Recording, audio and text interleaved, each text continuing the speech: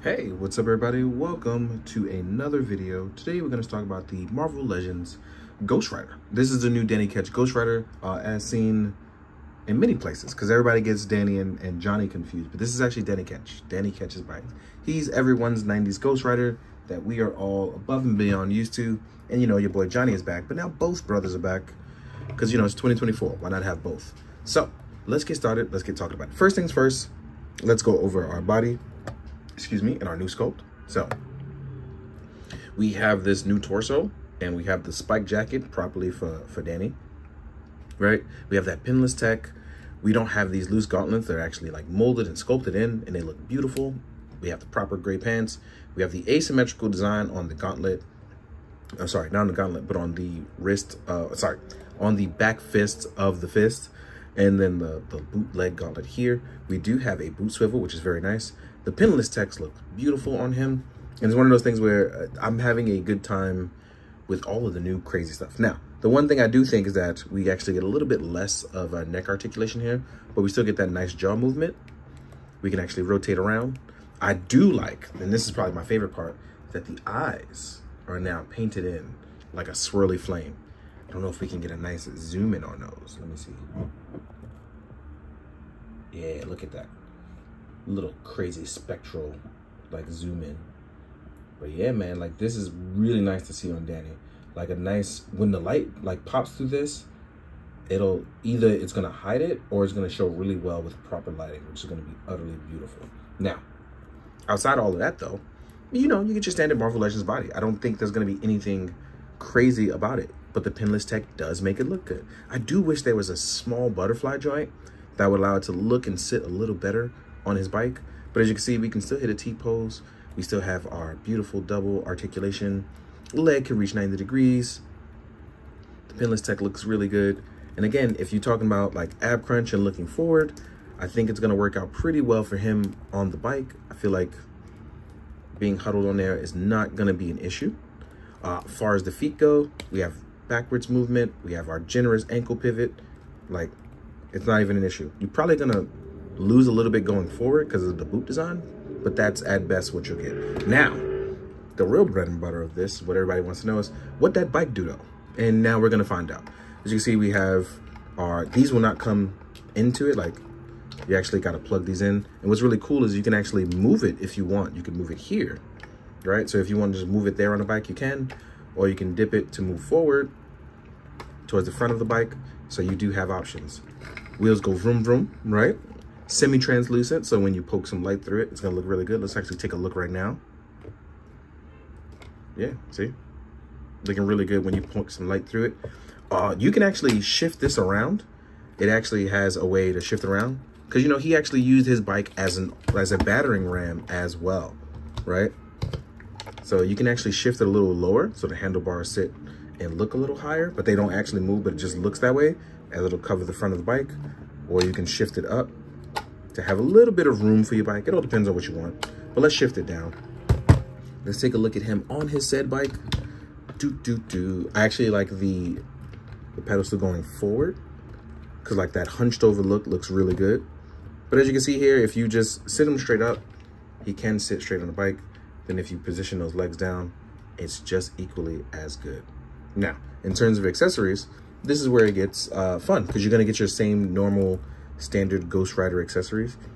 How you pair them up with flames and things like that are going to be what really matter. So you will get, right? Let me position him very nicely. So stand. so you will get handlebar holding hands. That's actually pretty important.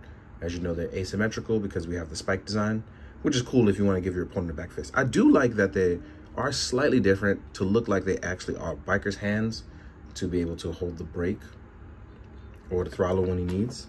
They are on uh, horizontal pegs. Although, yeah, they're on horizontal pegs. Then you will get a Hellfire chain. These hands can hold the Hellfire chain with no issue. Right? Voila.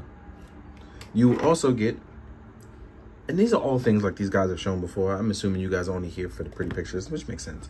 I'm just going to talk about the same. You will get these flame effects that sit underneath your bike, which look utterly fantastic, right? So yeah, these will look good on your bike. Let me actually get a little bit of focus on there. There we go. My hands are not free.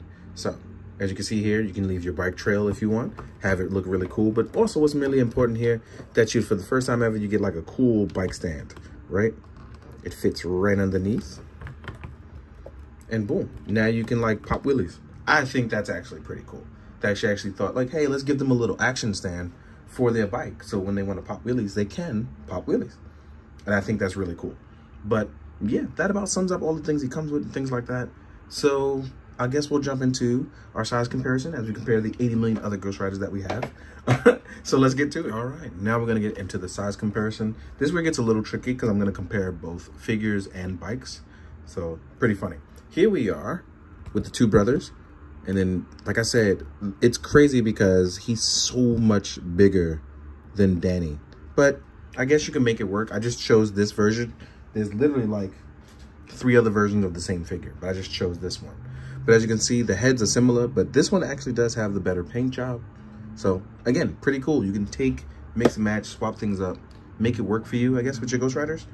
And then here we are with an old classic, the Toy Biz Vengeance. I threw him in because with Vengeance, right, I'm like, ah, in the comic book, he was just in a recent story, and I really feel like he's going to come back in the comics and make a big splash. So the two brothers versus Vengeance would be pretty cool. This old Toy Biz figure, it actually looks pretty decent next to them, but you can tell, whoa, you can tell it's a little bit dated, but it's one of those things I'm like, all right, cool. So let me move the bike around because I'm going to revisit that as he knocks the boys down, right? Let's put my boy Danny back. And then we're going to compare to the Johnny Mezco, right? A little bit bigger, different, but what's crazy is that this one has little to no articulation. It's just in the neck, I mean, as it can only go left and right. It can look up and down. But I really want to find an alternative scope for that because I actually really, really like this figure and it sucks that we can't like get that. Oh, I actually forgot to grab the Mezco bike. So I'm gonna take a quick pause. But let us compare to some other figures. Like here is a Marvel Legends Spider-Man in case you want to do some more Marvel Knights stuff right? Here we are with a Punisher. As you know, I just recently did the Heroes for Hire video. I don't know which order these are going to go out in, but now you'll know that I've done it, right? And then what else can we use? Oh, here's my main man, Daredevil. So you can get a feeling for what you're going on with. And if you want to compare it to a G.I. Joe, here is Quick Kick, right? So Danny may be a little bit smaller, whereas Johnny was actually pretty gigantic it's pretty cool to see it the way it is. But before we round out the rest of this and compare it to bikes, I'm gonna go grab the Mezco one. Let's take a quick pause. All right, we're back at it. So let's actually move this guy off to the side, right? So here is our Mezco bike. And I'm not really comparing it for price, I'm comparing it for size in case you wanna mix and match your Ghost Riders. Here we are with Johnny's bike, right? Then we are here with a different version of Johnny's bike, right? That RC one. And then last but not least, here you go with our modern bike, right? So it's crazy because we have all these bikes now. I'm going to remove the RC one because it's, pretty much the largest one. Like we can see that easily. Then here we are with Danny's bike. And I feel like the two brothers actually are in a good spot with each other on bikes. No matter which version it is, as we compare them. Let's actually stack them on top, right? You can see those two look pretty good together. So the brothers will look good together side by side for bike shots especially when you do like the Heavens on Fire storyline stuff, then even if you wanted to compare like the Roadhog version, so yeah, like I said, I think we're in a good place with with all, all the stuff that we're getting. We should be pleased, like with all the different variations. I know people like the streamline collection, so there's a different bunch of different choices.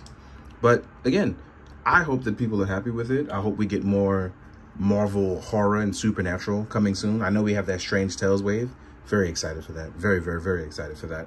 Um, and the reason why is because now all the Dracula memes can be all over the internet. I'm here for it. so yeah, in the meantime, I, I thank you guys so much for tuning in. As we know that I very rarely like will do like three or four Marvel Legends video in a row. So yeah, I'm very happy with that. So I'm pleased myself. So thank you for tuning in. Thank you for checking things out. Thank you for having a good time. Hopefully you've had a good time. Uh, you've chuckled, you smiled, you've been informed and entertained. So yeah, as always, be good to yourself, be good to others. And as always, be good, do good. Drink your water, guys. Later. bonus content. In case you're curious, the bone hand content from the uh, the retro card at Ghost Rider does work on him. So yeah, it works. It works. So now you can enjoy that too. Later.